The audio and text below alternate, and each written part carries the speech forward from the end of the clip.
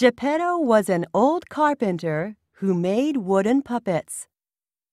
One day, he made a new puppet and named him Pinocchio. He had almost finished making the puppet when its legs started to move. Pinocchio jumped off the table and ran out into the street. Late that evening, Pinocchio returned home because he was hungry. The next day, Geppetto made Pinocchio some clothes for school. Then Pinocchio said, Now all I need is an ABC book. To buy the book, Geppetto sold his only coat. With his new book in his hand, Pinocchio hurried off to school. On his way to school, Pinocchio heard strange music and followed it. He arrived at the great puppet theater. Pinocchio sold his new book to buy a ticket to see the show. He was excited as he watched the show. Suddenly, the music stopped, and the puppets on stage called out his name. Pinocchio, come up on stage, the puppets said. While he was climbing up on stage, the crowd grew angry at the interruption.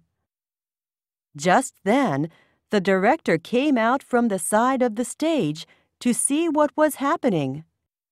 He grabbed Pinocchio by the neck. Come with me, he said in an angry voice. He asked Pinocchio many questions. He had decided to use Pinocchio as a piece of wood for his fire, but Pinocchio told him about his poor father. The director felt sorry for Pinocchio. He gave Pinocchio five gold coins and told him to go home. On his way home, Pinocchio met a fox and a cat. They told Pinocchio that he could double his five gold coins in the fields outside the city of Simple Simons. Pinocchio followed them, and they stayed at an inn that night. Meanwhile, Geppetto became worried about Pinocchio and started searching for him. Pinocchio woke up and realized that his new friends had left the inn. He continued to travel toward the city of Simple Simons. Pinocchio heard a strange sound in the bushes behind him. He turned to look, and two robbers in black jumped out. Your money or your life, a deep voice said. Pinocchio had put his gold coins in his mouth, so he could not say a word. We will hurt your father if you don't give us your gold coins, they said. No! cried Pinocchio. The gold coins tinkled in his mouth. Now the robbers knew where the gold coins were. They tried to pull open Pinocchio's mouth, but he was too strong. He escaped from them and ran into the forest. The robbers chased after Pinocchio. They caught him and hung him from a tall tree. However, they got tired of waiting for the money to drop from his mouth and left. The next day, a lady looked out of her cottage window. She saw Pinocchio hanging from the tree and clapped her hands three times. A large bird flew down to the cottage. The lady was actually a fairy and she had magical powers. She ordered the bird to cut the rope and bring Pinocchio to her. Pinocchio told the fairy about the robbers and his gold coins. Where are the gold coins now? the fairy asked. I lost them, answered Pinocchio, but he was telling a lie. The gold coins were still in his pocket. As he spoke, his nose grew longer. He told more lies, and with each lie, his nose grew longer and longer It grew so long that he couldn't turn around in the room.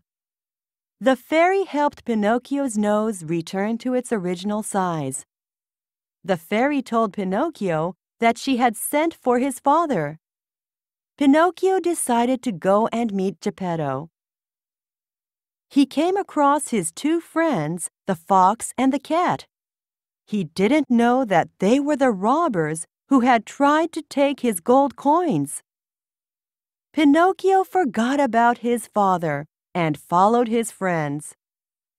After several months of adventures, Pinocchio lost his gold coins. He went back to the cottage to find the fairy. The fairy was no longer there. He burst into tears. A pigeon flying in the sky heard him crying. The pigeon told Pinocchio that his father was at the shore. Your father's building a boat, the pigeon said. Pinocchio sat on the back of the pigeon and flew to the shore. When he arrived at the shore, he saw a small boat with Geppetto in it. A huge wave made the boat disappear. Immediately, Pinocchio dove into the water. I'll save him! I'll save my father! he cried. Pinocchio swam hard, but he couldn't find his father. Pinocchio saw an island in the middle of the sea. As he swam toward it, he was swallowed by a huge shark. It was dark inside the shark, and Pinocchio burst into tears. Help! he cried. Where am I? Pinocchio saw a faint light in the distance. As he got closer, he saw a candle and a little old man sitting at a table. Pinocchio was surprised. Oh, father! I have found you at last! Geppetto could not believe it was Pinocchio.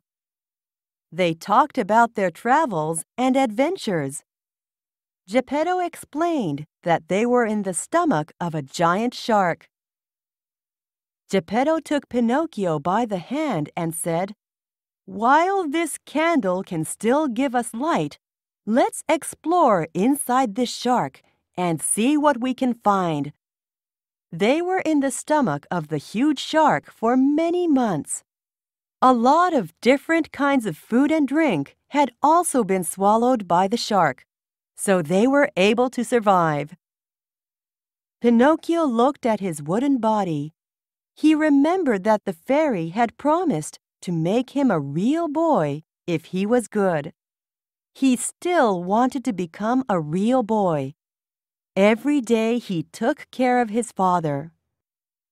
One day, when the shark was sleeping, Pinocchio said, Let's escape! The shark is asleep and the sea is calm. They crossed the shark's tongue and jumped over its teeth. Geppetto held onto Pinocchio's neck as he swam away from the shark. Many days passed before they finally reached an island. They started to walk along the shore, but were exhausted and fell down. Soon they were both asleep. As Pinocchio slept, he dreamed about the fairy. In Pinocchio's dream, the fairy kissed him and said, As a reward for being good, I will keep my promise. Pinocchio woke up and opened his eyes wide. When he looked at his body, he saw that he was no longer a wooden puppet. He had become a real boy at last.